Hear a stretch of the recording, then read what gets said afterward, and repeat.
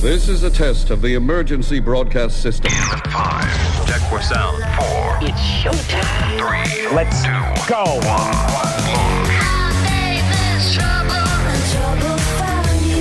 This is the Pro Audio Suite, a podcast for audio and voiceover professionals. Your hosts, Robert Marshall from Source Elements and Someone in Chicago, Darren Robbo Robertson from Voodoo Sound Sydney. From LA, George Whittam, the tech to the VO stars, and myself, Andrew Peters, voice talent and home studio guy from Melbourne. Now, thanks to Rode microphones, let's get on with the show.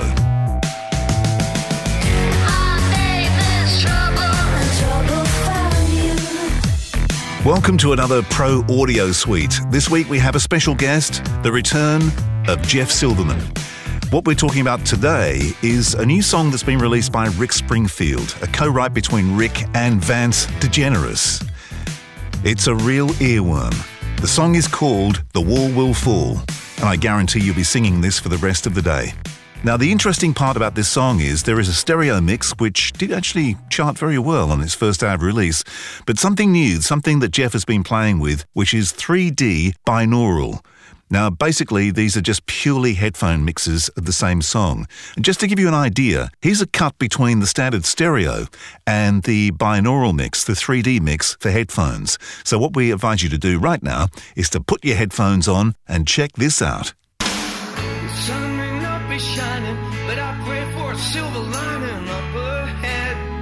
still No point in your resistance. How can it be so hard to be free? I'm gonna keep on breaking into your heart until you finally give the key to me.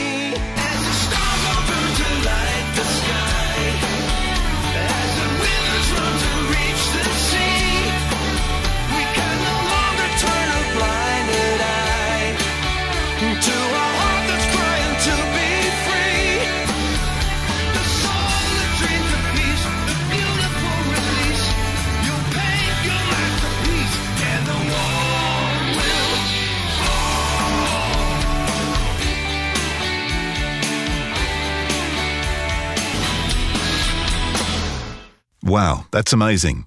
And that song went number one on iTunes. Is that right, Jeff? Right. It stayed uh, in the number one on the rock charts for two days, and I think uh, life is short up there on on number one land. But it definitely hit it quickly, and I think the fan base is definitely locking into it. And all the videos that they did prior to the release was was just brilliant because part of this was a buildup to have Vance and Rick do a sort of in in short a beginning to end of what is involved to collaborate on a song with a blank piece of paper to a finished song with a lot of slapstick and tongue-in-cheek humor in between the 20 some odd or if not more episodes that they did. Short mind you you know maybe no more than a couple minutes to even shorter but it really kept everybody feeling not so alone. But it really is wonderful to to to have seen the cause actually resonate with so many people now. Ellen DeGeneres played it on her show the other day, and I've taped it. I haven't seen it yet. So they're really out to uh, spread the message as much as they can to utilize his celebrity status for the better of humanity. And uh, you know, I think that's wonderful. He's done that with the fires in Malibu. He does that with animals. He's a very big dog activist and animal activist, and you know, just I admire his ability to, even in very difficult times, to not think all about himself and what's in it for me and reach out and really try to help other people. And I, I had 46 years of knowing him now to know and respect that it's not the first time and won't be the last. Yeah. If uh, anybody's interested, those videos I've watched, I think probably all 26. Um, you can find them online. In fact, I've found them on uh, Vance DeGeneres' Facebook and plowed my way through. They started off being, you know, kind of humorous and ended up being completely bent. So if you feel like a bit of a laugh, check it out. Rick goes right off the Richter scale as far as uh, bent humor is concerned. Um, Uh, so- Vance is a straight guy. well, he tries to be. I don't know whether it's actually working that well. now, the other thing about the song is uh, you've d- you've done a couple of versions. Obviously, the uh, standard stereo mix, which people would have heard if they've uh, either downloaded or bought the song. but uh, you've also been working on 3D binaural mixes for headphones. Um, Didn't, didn't comparison of- everyone get it binaurally? the stereo mix went out first and then just before that went out rick asked me because he's been following my 3d binaurals for the last year and some of them i've sent to you robert. Yeah, yeah.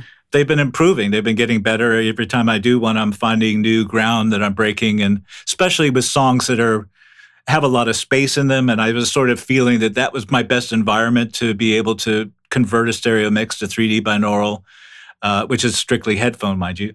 And then Rick asked me to do this rock song, and I went, "Oh, uh, of course I'll do it." And I just took a little gulp and got all the tracks because I had to start from scratch. First of all, it's very difficult to take a mix that somebody else has done in Pro Tools with all their plugins, and and then I would tear it apart anyways, um, you know, because it's a whole rethink. At least that's the way I've been looking at, it, just like I did when I was mixing 5.1 mixes. It, I looked at that as a separate mix, and I looked at my stereo mixes as a separate mix, and I didn't do any down mixing.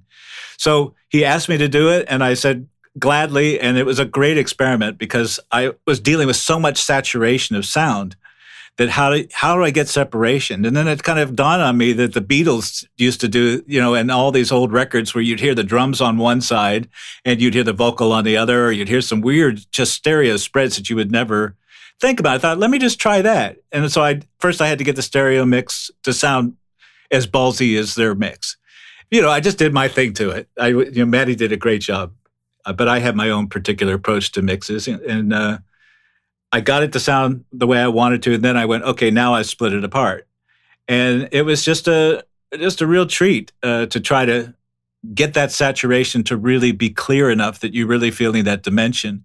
But I I, t- I just heard from the manager today, uh, Wayne Sharp, and uh, they're all go and they want to get it out ASAP it's new ground for them, and they're thinking in the future too that this could be great for Rick on some future projects that are coming up, and uh, other artists as well that have are believers because it really has to take a little bit of faith in the fact that it's not established quite yet to say you're going to be a, getting a great return on your investment, but it does get you on the ground floor of something that we all believe is going to be taking off. And the reason being is that Amazon is leading the way with taking on this 3D binaural content as well as Dolby Atmos.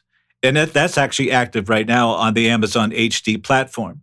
So they're making it reality for us, and we're, we're, just ahead of the curve because there's not a lot of content there yet, which is a perfect place and time to get involved in this. So, but I did a lot of research on Dolby Atmos and what was up there on the sites with 3D binaural. But the main problem I see with Dolby Atmos is it can't be streamed in in the headphones, and that's why uh, Amazon has a box out right now that for 199 bucks that'll stream it, but you have to do it through a television or a, a Wi-Fi television. But the only way that you can hear a Dolby Atmos file is that it will render, sort of convert itself, sort of like a down mix to a 3D binaural mix in the headphones.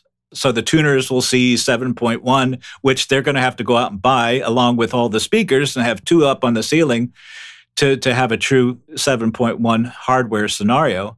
And that's expensive right now. You can look on Amazon. It's between maybe $2,000 to $5,000 to get a, decent, and who knows what kind of quality some of these. These are off brand things. Uh, and bars don't do it. The thing that you put up and they say it's five one, and they're spreading, uh, you know, sound waves up, and they're bouncing them off the ceilings and the walls based on some sort of self diagnosis that they have. That's wonderful, but that's not accurate in placement. And you know, uh, Robert and I talked about this. Robert's done five point one mixes before. You know, when you have a direct connection to a mixing boards to a speaker, that's the ultimate in in direct connections. But the idea of the headphone scenario is very exciting to me because everybody and anybody can have a pair of headphones or earbuds and listen and experience the 3D binaural sound. It's not meant for speakers, but Robert, you played it on the speakers in your place. I don't know how you felt about it, but I'm trying to make a crossover where you can still enjoy it. And both, if it was played on the radio, somebody may go, oh, that's cool. They wouldn't hear any weird phasing or things lacking. It just is a different experience, and it will come out wider on the speakers uh, compared to a stereo mix. So what I did was I made Rick the 3D mix, and then I made him the comparison basically showing a little piece of the 3D, then it goes to stereo, then it goes to 3D and stereo and yada yada. And it, they were just blown away. And I was really happy about that because it was mission accomplished that I can actually do this with a really dense mix. If anybody's mixed in 3D, you sort of have the option to play something in the 3D space. And in fact, if the thing's using a head tracker, then that space moves as you move your head. But then there's another space that you can mix with, or channels you can mix to, which are just straight left and right. They don't go through the environment. If you turn your head, they still stay left and right. And I was wondering if you how, how you combine those, and are you using those for your stereo compatibility to some degree? That's a good question. Well, first, I'm not using any head because there's not any VR gear that I'm relating to or right. So there's no with. head movement. There's No. There's no movement on yours, right? No, uh, but it, I'm creating the movement just like we would if we made a 5.1 mix. I'd love to be able to have a video to do this with that had a lot of movement that I could associate it with. It would be no different than doing a lot of the you know music editing I did for many many years, doing sound effects or whatever. Uh, but the idea that we talked about before was that these mixes are are are a hybrid too, because once I've mixed my stereo mixes, I like keeping some things that are in your face. Like for example, one of the vocals that I did for uh, my wife's Blue Sun Rises, which I'd love to send everybody a link to a page that I put together that has these 3D example. She was the first 3D mix I did too. After a while listening to it, I just decided that it was better to keep her just like she was in the stereo mix and let the other 3D stuff around her spread around. And it made actually the, the mix even more dimensional. Uh, most people I try to keep kind of close, but there are things that I'm using that are are combinations of of things that would be right in your face to you know center speaker to or left and right, or I might keep them really close with no verb. The the fun thing about the uh, 3D stuff is the verb has some reflections have a, everything to do with where you're feeling the dimension. So it's it's just not static stuff. It's just some things that I want to move around, or if I want to put into a, a certain place in the mix, could be close in a sense of the proximity of the original signal, but the the reflections are in the background, sort of leading you to another place to create a bigger sense of space. Does that make sense? It does. And it sort of leads me to a question that I've got in my head because I've done a couple of 5.1 mixes, not a lot, but over the years I've done a few. And the first couple that I did, I found I fell into the trap of because the space was there, I felt like I had to fill it up.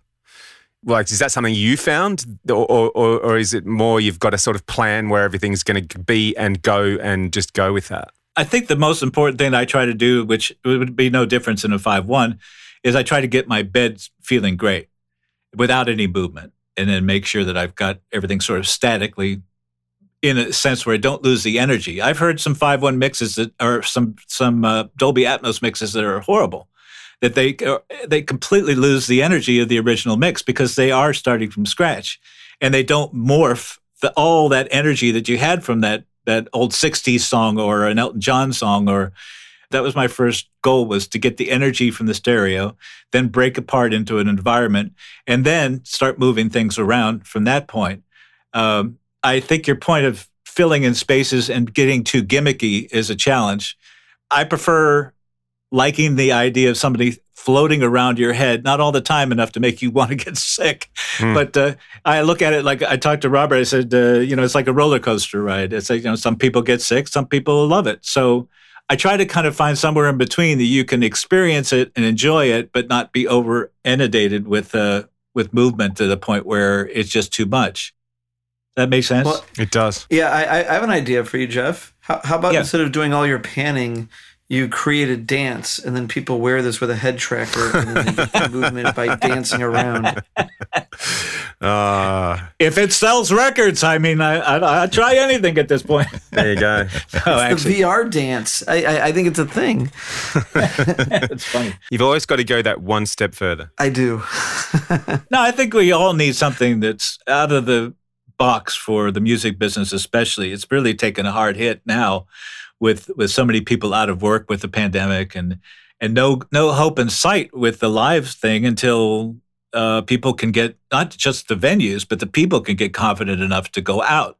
So my feeling was this is even more important to give people an experience that are sitting around. They need they they just want to have something that they can. They'll first of all have the attention span to listen because they're focused more on on their lives and their moment, and it's not distracted by twelve thousand things and working an eight hour day. That they are they're wanting to hear more things that are possibly this is the most opportune time to give them something new. And I don't know how it will take off, but I think with Rick's fan base alone, uh, he'll be able to explain it in a way that I think they'll resonate, they'll understand, and they'll buy it. And those sales and the proceeds are going to uh, Feed America organization. It's a nonprofit. So my goal is to see that happen as well uh, for this cause. And um, is there any way to tie this in for the fan base to those who listened to him maybe in the early days of his career and maybe are a little bit familiar with quadraphonic sound.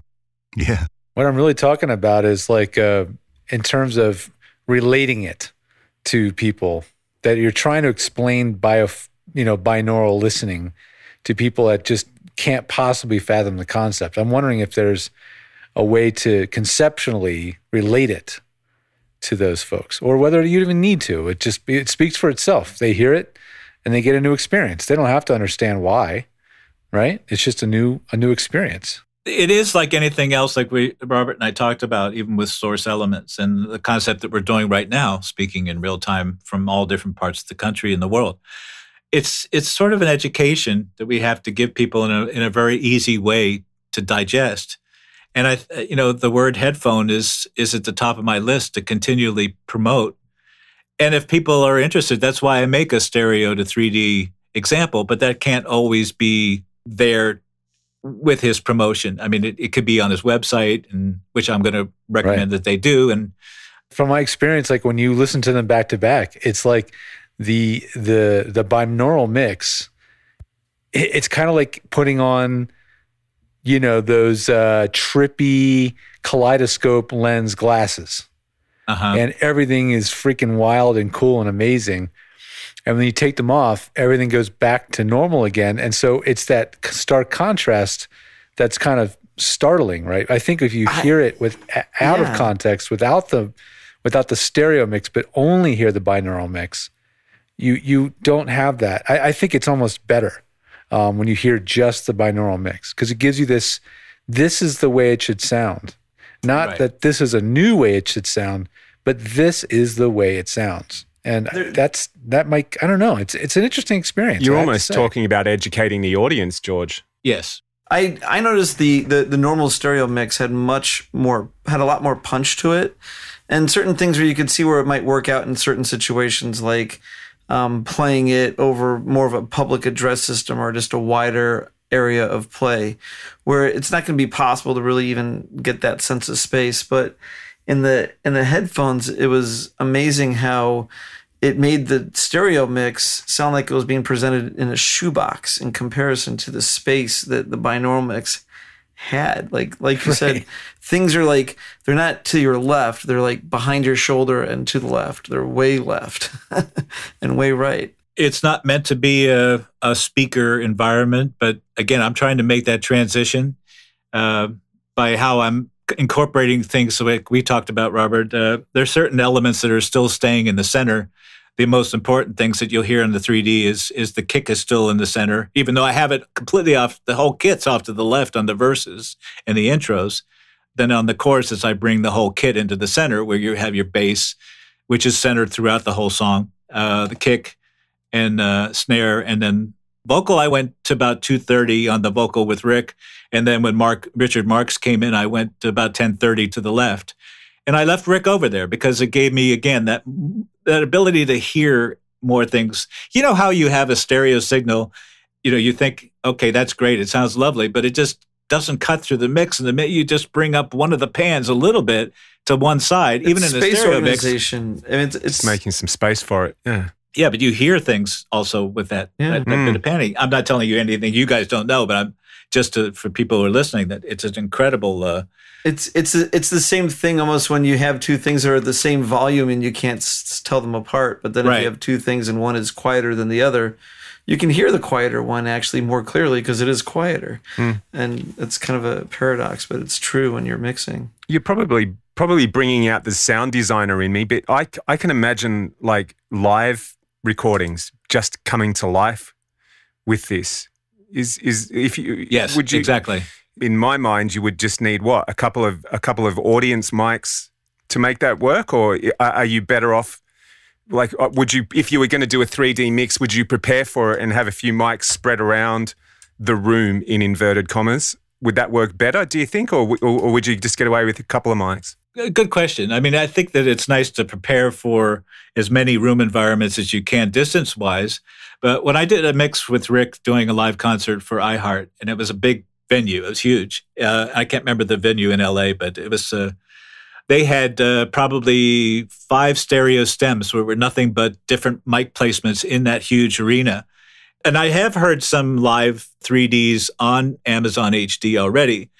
And I think that there, there's a fine line between not being too stereo with it, still what's in front of you. Because when we are in a concert, there's, again, those reflections and things like that. And the direct signal that we're hearing is sort of blended in together and really important to not get too restricted to just everything up front and then hearing the echo in the back, which I hear a lot in, in film and television mixes when they do a surround. And I'm not impressed with that sort of scenario. I don't, I get a little bored.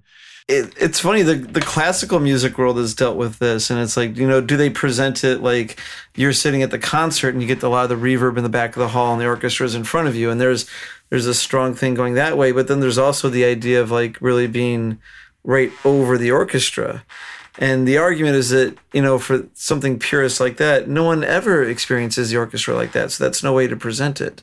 But um, when it comes to you know like music more of the you know studio type, it's like any perspective works. And even I think for a rock concert, why not? Like I, I was thinking about that Peter Gabriel concert and the I forget how long ago he did it, but it was like all in the in a circle and the whole stage is rotating. What- was I've that seen a 3D Us- like that too. Yeah. And it was it was beautifully done. It was actually a camera right in the middle of a band, a small band, acoustic band, so you really could feel as that camera was moving. This the idea of putting sound to picture, which is I'd love to do because I did that again with music editing for many years, about fifteen years for film and television. Uh, which it, music more as effects, and I was in the sound effects editor. But I sometimes the, music becomes sound effects, and then being able to actually translate that to picture is is a, the next thing I'd love to do, but we don't have that opportunity, and uh, without having to buy extra gear. I think the idea here is to just keep it very simple and a nice experience for people to. I'm going to contradict myself because people are doing videos with these 3Ds. Uh, I asked Rick if he wanted me to put it into his, and and uh, I think we're just going to release it as a, a straight audio. But for other people that you can see on my virtualstudionetworks.com, I'm sorry, selfless plug. Uh, but but there's a page on there where you see 3D binaural, and you you can you can go down there and see the three different 3D mixes, and then their stereo to 3D c- counterparts. And in those videos that they did, uh, we all did some movement in there for me to be able to do some uh, sound effects, like in the beginning of, of Deborah Lynn's video, Blue Sun Rises. There's an ocean and there are bells in the background, and I wanted to create the feeling of being in a in a in a countryside in Ireland, uh, looking out over the sea, where you can hear a little bit of the sea in front of you, and you feel the open air around you, as well as the back and, and the city in the back with the chimes. And then at the end, there's a huge uh, starts out with the the ocean again, and it gets more aggressive and more aggressive to the point that you're in a huge storm and it's thunder going all around you and that was fun and i in between there were birds and things like that flying around that i was able to do some sound effects to picture in 3d scenario. Uh, with with grant's Maloy smith's dust bowl which is about it's a historical piece that was done about the 30s dust bowl here in america. He didn't have any bookends and i said well why don't we do something that's sort of environmental? Which i love the idea of doing because a lot of people that are there in 3D binaural land right now are acclimated to streams, meditation, things, you know, being sort of moody and atmospheric or or environmental, you know, going around your head. So we searched around for some great sound effects. And then I was able to create the feeling of being a guy walking out the door and and shutting it and literally going out into this complete desolate plains area that uh, you know people are just trying their best to stay alive. And then at the end, I actually have a dust bowl coming right at you from the left to, that completely surrounds you and then goes off to the off to the right after it hits you. And it was a lot of fun. Interestingly, I could see um, this being released like Rick's single, for instance. You could actually have two mixes, one called speakers and one called headphones. Well, I was thinking, doesn't the binaural format have, or, or not the binaural, but if you release it as proper VR, then I think you can control your channels of this straight stereo mix, not in the VR space and the VR space. I believe, but then you have to deliver it not as a you know left right audio file in a fixed orientation, but a VR audio file that can then be used for you know head tracking and whatnot. But then you do have some options, I think. It's like an eight channel file, right, Jeff? I'm not quite sure on that. I haven't even researched that at this point, but there are different ways of mixing a binaural from multiple channels. But I don't think that the headphones are going to pick that up if you're not doing it with head tracking. Well, it would be it would be with head tracking those those um those systems, but I think when you deliver the eight channel mix, one of the channels, uh, I I think it's eight channel, like whatever Ambisonic's like B format is. There's one that's like 16 channels or more, but w- one is like four channels or eight channels, and then you can put in or keep out the sort of stereo fixed mix which on top of it lays the binaural mix that if you have a head tracker, it, it keeps itself oriented to how your head moves around. Well, I'll look forward to getting in further into that, especially if there's a reason we can have a visual to go along with it. But right now, I seem to be able to get the placement just as easily, whether it be split out into four the stems. The way I'm mixing, I mean, I'm mixing in stems anyways through a, t- a, a multiple auxiliary sends. So each one of those has either a, a binaural plug in on the channels themselves if I need to, or down to each track of the drums to uh, subgroups of uh, things. Like, for example, there's tons of background vocals on uh, Rick's song. What I did was just basically just subgroup each part because there were three just basic parts, and there might have been a. I did some parts as well. I sang vocals in the verses, and I sang in the choruses as well with Rick, and uh, I was able to really do a, quite a huge span of background vocals with each part sort of designated in certain areas. There's no manual yet, and I kind of like that aspect. So there's a lot of experimenting that's done, and no mix is created equal. So as long as I'm getting the effect in the phones, I feel great. I was going to ask you anyway because this was uh, this song was a, a huge challenge, not just because you were working in this last mix of binaural, but the fact that everything was recorded remotely. So you know this is uh, our current world of being remote. Um, so every person, every musician that played on that song was playing from their little studio. Then you had to compile all the elements to build the song. What was the biggest challenge with that? They had actually done the mix and, and combining although i did a lot of work on the individual elements that happened that, at that time which were usually through those vance degeneres rick springfield series that they did. But when i was working with those particular elements i was dealing with really poor audio on their side because nobody was doing source connect source elements and which i was stressing this would be much better guys. You'd be getting a, a much better signal coming back at you rather than hearing it through uh, Zoom or you know this the typical web camera distorted mono signal, but it still worked in the sense that they got the feeling that they weren't any more high tech than anybody else. Everybody can grab a phone and do this, but the problem was when a lot of these guys were really playing, you couldn't hear the music. All you could hear was them playing because they had the headphones on. So there was a lot of internal recording going on with each guy having their own system. And by the time they got that back, the audio was much better and could be replaced in the uh, actual uh, master recording. Maddie did a great job, uh, which is Rick's main guy that does sound for him, and uh, of coordinating all that into the multi-track. And then, uh, and then I was able to then get all those stems and then raw stems in the remix. So is VocALign your friend? It was in this case. Uh, there were a couple things that were my friend. Uh, and there's a there's a plugin called XTRAX, it's not perfect science, but it was a, I was able to get in and do all kinds of editing to stereo tracks that needed some help. For example, if somebody's vocal was out of tune or something uh, in the guitars were out of tune, and it really gives you quite a an amazing ability to control the actual vocal separated and the actual guitar separated, but not to use by themselves. It has to be the combination of, otherwise it'll sound horrible. But I was able to actually work with the vocals and work with the guitars and and then put it back together again and give it a little bit of oomph and compression and that sort of like locked it all into making it sound even better. Uh, so so you had to you had to extract or unbake the cake of the mix they gave you. You didn't have the Yes. separate tracks. No, because I'm getting them from phones. So it, everybody was using an iPhone or something external. Even Richard Marx vocal that's on there as well. Uh, Rick was in the studio when he did his vocal, which was great uh, for the final vocal, but not for the demo version. Which again, I was using elements of both in some scenarios to create different versions of these, which he's going to eventually release. But most everything that I got was nine times out of ten was not done in the studio uh, and done through a phone that I had to clean up in one way or another. So so when they did it on the phone, what app did they use to listen and sing at the same time?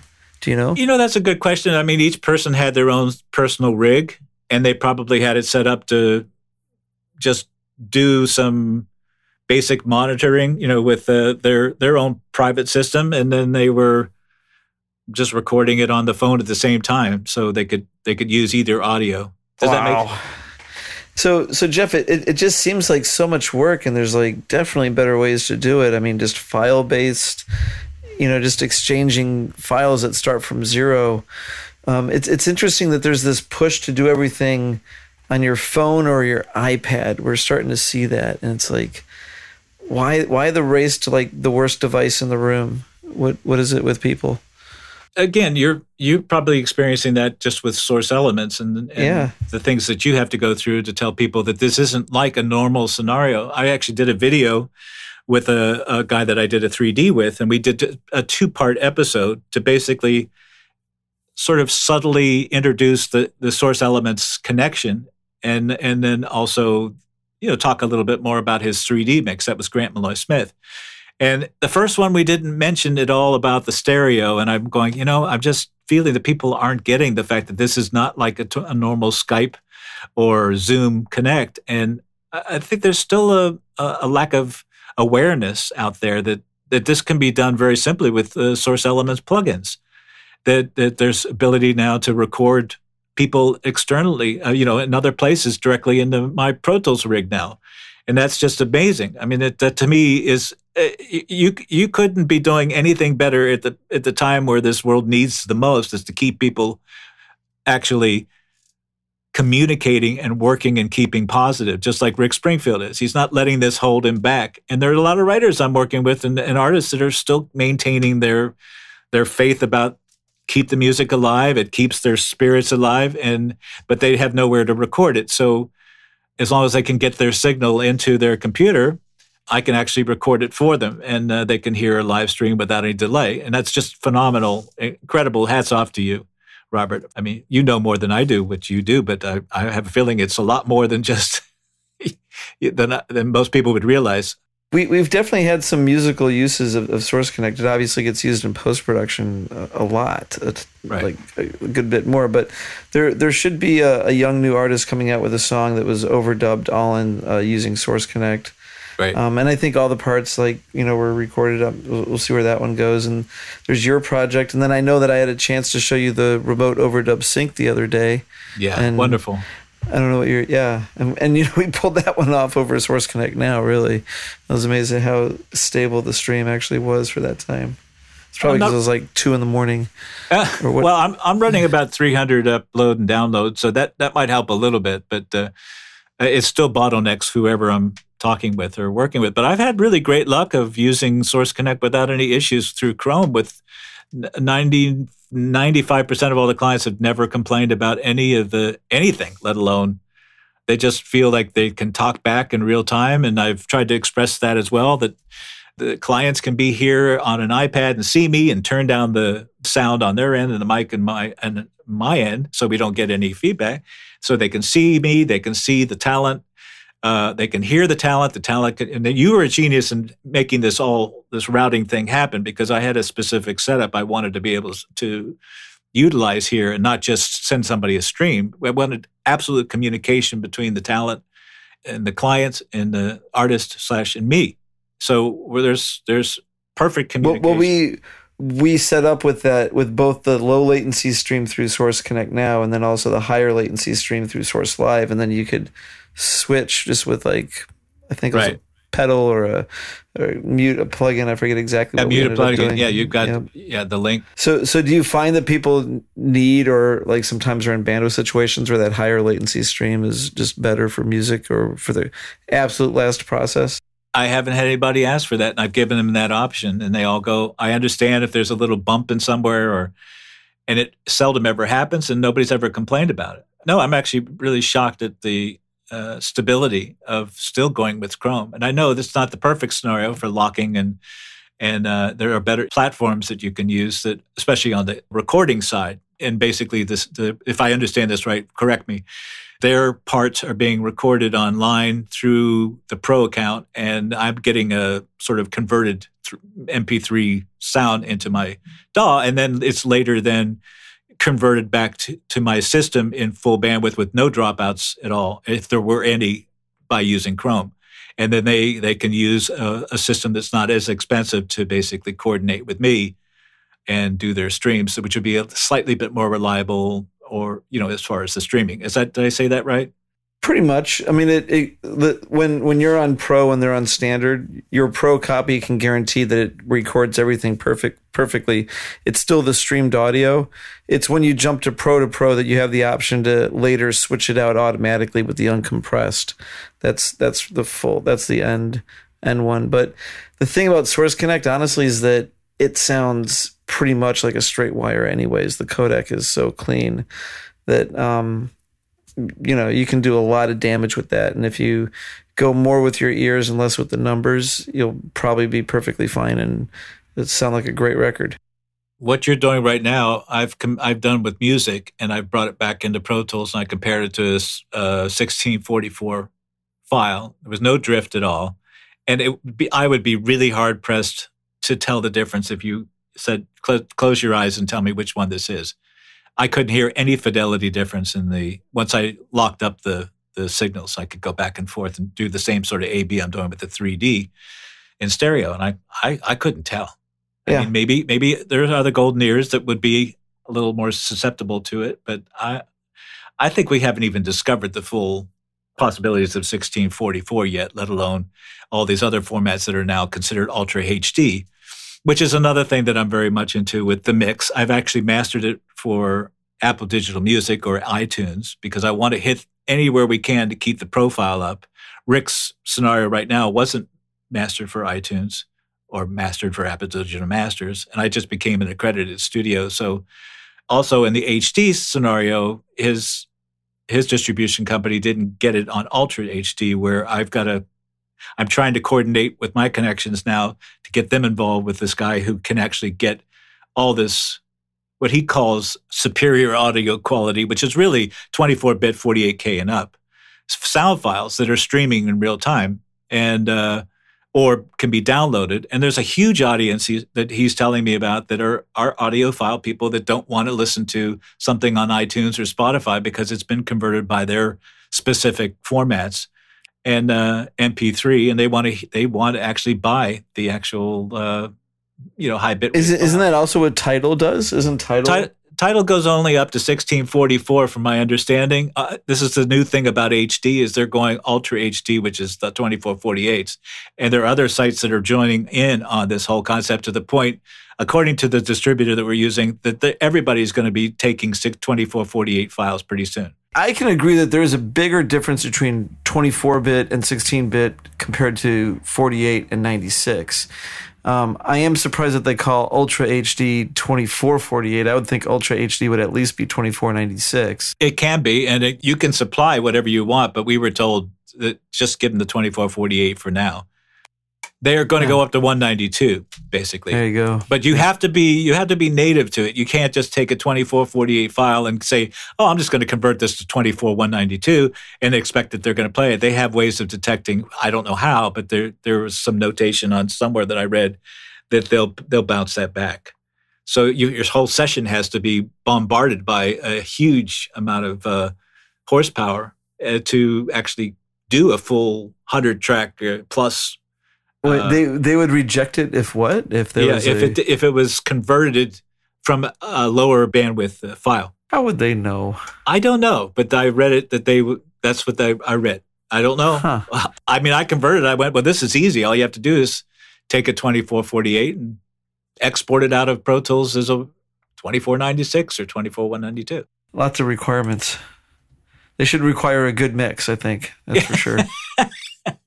Yeah. Well, thank you, Jeff Silverman. Thanks for having me on. Pleasure. Um, the song is The Wall Will Fall from Rick Springfield, written by Rick and Vance DeGeneres. You can catch it online. You can buy it if you wish. Uh, we do hope you do because uh, all the proceeds go to help feed America. Uh, Jeff Silverman, thank you very much for joining us and hopefully no tornadoes, no storms, and no more pandemics for 2020. Thank you. And I hope everybody stays safe and healthy during this. Uh, the only thing I can say is this very challenging time. I've got to say, I'm enjoying it. well, there's nothing self isolation about being in the studio. I think we kind of we got our A plus on that one a long time Yeah. ago. Absolutely. yeah, I think I think only like a programmer might beat us as far as isolation goes. Yeah, there you go. Yeah, that's exactly right. And on that note, let's have a listen to just another grab between the standard stereo and the binaural mix, the 3D mix for headphones of The Wall Will Fall. Take care of